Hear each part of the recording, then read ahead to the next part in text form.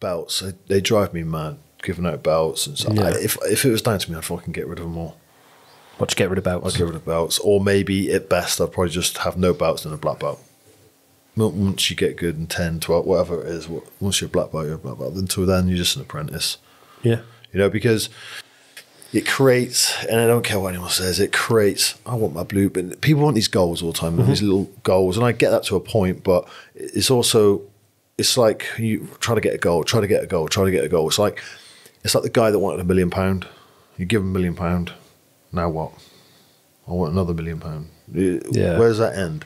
Do you know? So you got to enjoy the journey. That's the most important thing. If you're not enjoying the journey, if you're not enjoying what you do, that's what gets you good. Like Man, enjoying I'm, I'm you do. completely fucking addicted. I say to Paul all the time, I am fully. I've never been so addicted to it. you do a nine to five, right? You do a nine to five job, and then like, and then you want to go train. It's like ultimately you will get tired of that hmm. unless you enjoy it. Yeah. and it's the enjoyment and the, and the social aspect that comes along with that, and the friends and the, and the camaraderie and hmm. stuff like that.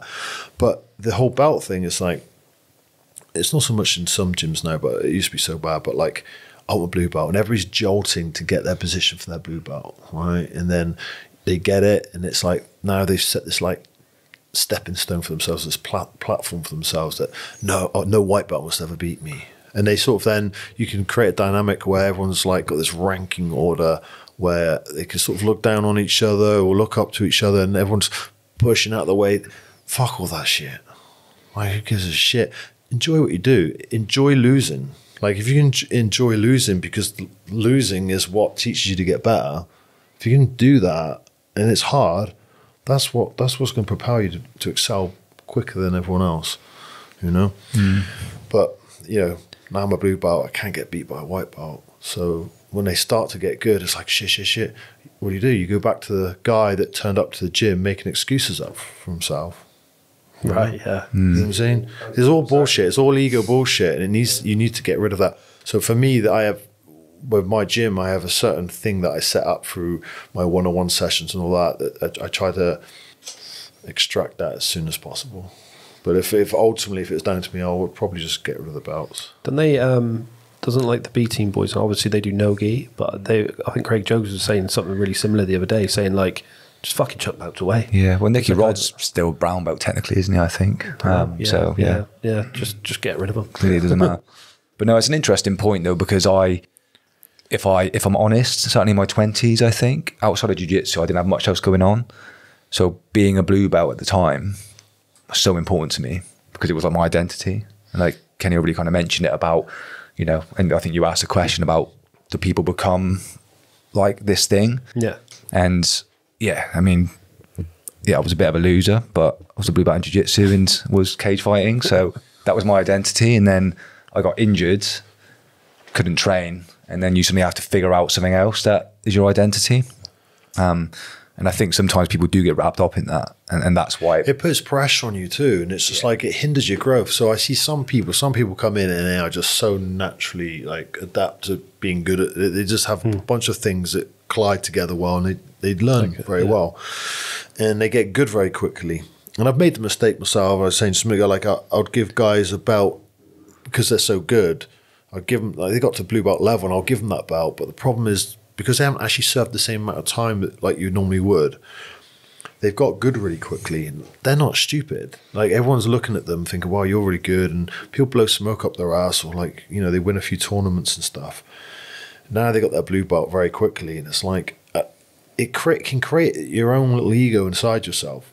When, that's, when that happens, everyone else is going to get better eventually. Everyone below you is going to get better. And as that starts to creep up, it's like, they fucking they can't handle it. They're like, oh shit, shit, shit. And they're starting to get annoyed, or they roll a little bit more angrily, or they they, they have little hissy fits and stuff when they're training, and they forgot what got them fucking good in the first place. They were probably humble as hell, and they just enjoyed playing around and, and rolling for the sake of it. But as soon as someone starts blowing smoke up their ass, so I've made that mistake where I've given the belt too early, and, I- and it sort of it's hindered their own growth. Then, so I'm I'm a lot more hard on giving belts out like that now, and I always base it on two things: performance and attitude. Um, but the attitude overrides the performance.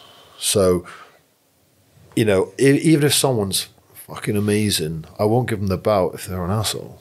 Yeah. It's that simple. Because not only are you going to continue that, because one day you're going to teach this.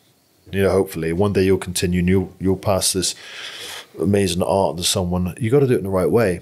So it's like you're going to go off and then teach them what the way you are with your ego. Like, it's not going to happen. Not not under my Yeah. banner. Do you know what I mean? Yeah, fair. Uh, but at the same time, I've seen some people now they they served their time on it and they're probably not quite there yet. But I'd rather give them the next belt if their attitude's on point and they're training correctly and they're not training with their ego and they're helping everyone else out and they're being a team player. Do you ever change um, like who you give belts to based on whether they're like a hobbyist or like a competitor? Yeah, I think so. person 'cause or It's so hard as well. Like I was thinking this a while back. Um, it, really, I think there should be two belt systems if they're going to do them. One for competitors and one for people that are more Yeah. like maybe coaching based more. Yeah. But it's like you got to be one or the other. You got to be like more. Of, you got to bring something to the table. Okay, so you're either competing or you're able to help your team members. Mm-hmm. You, you you're able to coach, show them things, work with them. Do you know what I mean? So it's one or the other. And, and I also don't believe in like I'm not so fussed about blue, uh, purple, brown so much, but I'm harder on brown and, and then black, but not everyone's going to get to brown. Not everyone's going to get to black. The- Even if they've trained for 15 years, I don't believe you should get it just on time served. That's what I was about to say to you. So, uh, is there situations where people get to like brown belt, and then you think, oh, do you know, what? I'll never see, you know, maybe giving this person a fucking black belt, or it's going to take Yeah. a long time. Yeah, I, I do. You know, you know what I mean? But but you don't. You, I mean, I mean, it's just your own little thoughts, isn't it? But like, they, you know, they could prove you wrong, and I hope they do. But it's like some people just aren't. Listen, I wanted to be a fucking rocket scientist. It's it's not going to happen. Do you know what I mean? Some people don't pass every qualification. Do Yeah. you know what I mean? It's the same here. So why are we giving things away? Because all you're going to do is water the sport down. You know, you're only going to water it down, um, and ultimately they're representing you and or me in the 20 years that I put into something. that's what, that's what I was about to say. So, like in a lot of sports, obviously, uh, you have no like belts or anything like that. So, yeah, but blue Yeah. belt in boxing. you know, I'm blue belt in boxing. Is that a thing? Is it? No. I was going to say. I was going to say I'm a black iron in boxing, maybe, but I'm blue belt. Yeah, but like what I mean by it is, is like you get some people who play football. Someone can play football from the age of five to thirty-five and be pretty shit at it the whole time. See what I mean? And it can be the same in jiu-jitsu, innit? You obviously got higher leveled people, and then you've got obviously people that are low level, Yeah. and then to get a black belt, really. It should be not on time served on how good you are and how much you can pass on that information. But I, the only difference I think about these days is the, the time does have to be served, though. yeah, no, no, I, I don't mean that. that Yeah, no, no, no. Know saying, I'm just, I'm just saying, like, I didn't used to think that so much. I'm like, if somebody Oh, right. got to a blue belt within eight months because they're that good, Yeah. I, I changed my mind now because it's not just the fact that okay they can perform to a blue belt or they can Yeah. compete, but I think there's a lot of maturity that has to come along with those stages Mm-hmm. as well. And uh, every time I've sort of given that belt out to the point where because they perform well and they're at that level, but they're not mature enough for that time they haven't served, it's been detri- detrimental to them uh, in the long run.